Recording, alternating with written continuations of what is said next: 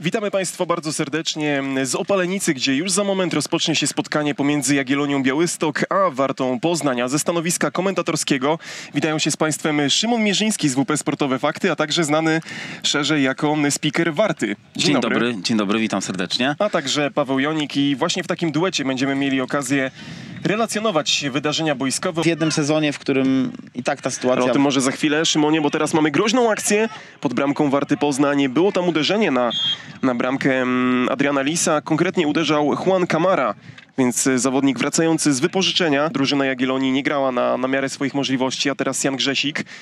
Jan Grzesik, lop z dystansu, proszę Państwa, ależ teraz y, bliski był zaskoczenia Zlatana Lomerowicza. No my też tak y, spojrzeliśmy z nieco dalszej odległości i naprawdę z naszego stanowiska wyglądało to tak, jakby piłka mogła zatrzepotać w siatce. No nie zdążyłby bramkarz na 100% do tej piłki, ale jednak tutaj widzimy, że trochę brakowało. Dobra próba Jana Grzesika i to jest też chyba klucz do jej sukcesu.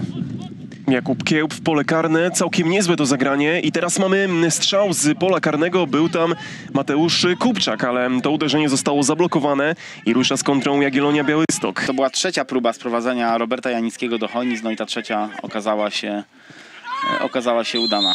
Do trzech razy sztuka zwykło się mawiać, no i tak też w tym przypadku było, a tutaj mamy groźne takie zderzenie, podniósł się, ale czy będzie w stanie zejść o własnych siłach, no widzimy, że tutaj problem z nogą, nie wiem czy nie z kolanem, trudno mi, trudno mi to ocenić, no nie mamy wiedzy medycznej, zdołał dopaść do, do futbolówki i ponownie Fin.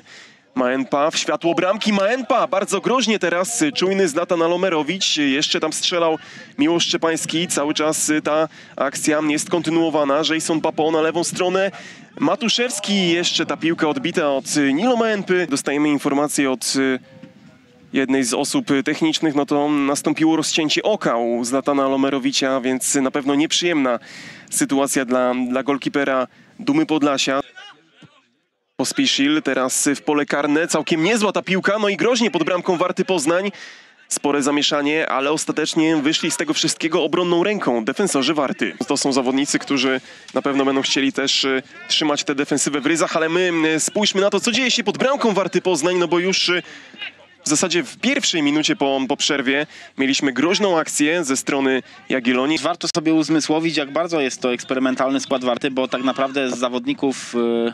O tym za chwilę może, bo teraz Nastić w polu karnym odnaleziony przez kolegę z zespołu, ale piłka wylądowała w koszyczku Jędrzeja Grobelnego. epizody Skrzypczaka. No a teraz No, teraz widzimy znakomite podanie, znakomite podanie na, na dobieg, no i teraz brutalny ten faul w wykonaniu piłkarza Warty Poznań. kartka. No nie ma co się dziwić, tutaj mogło się to skończyć fatalnie dla drugiego z bramkarzy Jagiellonii Białystok. No a teraz widzimy Wojciechowskiego, rozpędza się z piłką i podaje teraz na lewą stronę boiska. Jest Bojan Nastić, piłka w pole karne.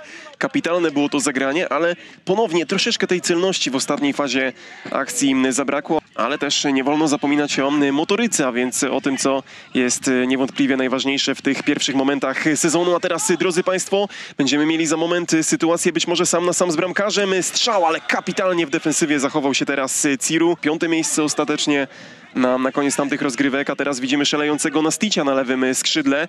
Nastić w pole karne, no i to może skończyć się bramką dla Pogoni, przepraszam, dla Jagiellonii Białystok oczywiście. No i tak też się to wszystko skończyło.